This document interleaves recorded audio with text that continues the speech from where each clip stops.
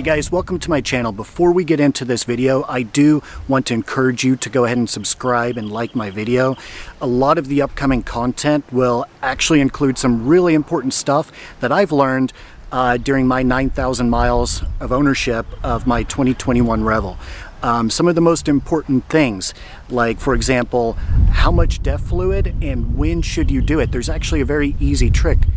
Did you know that your Revel has a gas cap holder? 100%, it's true. Most people don't know about this. Couple of other topics, when to use gas heat, when to use electric, pros and cons of each.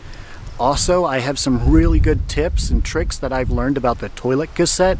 Trust me, that's a video that you're definitely going to want to watch so you don't make the same mistakes that I did. And then probably what's going to be one of my most favorite videos coming up, going to be the top three upgrades. So I've done, I feel like pretty much everything you can do to one of these vans. Some things I would do again in a heartbeat, some things I wouldn't do at all. Some things were really, really expensive, but were they worth it? So now we're gonna get into the video, but please do subscribe, hit that notification bell, and when I roll out these other videos that you're definitely gonna wanna watch, you'll get a notification. If you own a Revel, it is pretty much guaranteed that you will get the following two questions. What you are about to see is based on actual events. I hope you don't mind me asking this, but uh, was it expensive? well, yeah, you know, it, it wasn't really that expensive. Um, definitely if you use it. So, uh, you know, what do you do for a living to be able to afford something like that? Oh, what, what do I do for a living? Um, I'm an adult circumcision coordinator. How much was your van?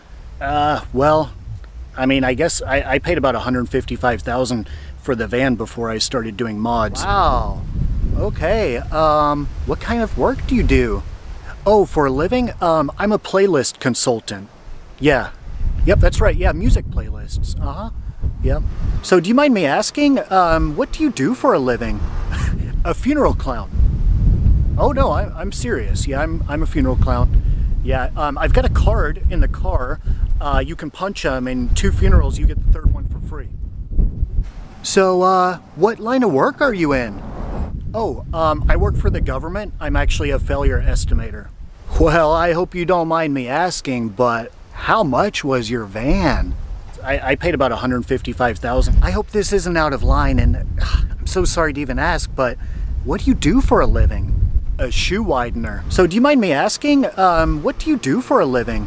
I'm a burger patty molder. So, um, what do you do for a living? All right, so uh, I hope you really enjoyed that video. If you did, please press the thumbs up. It really helps with the YouTube algorithm and helps other people find my video.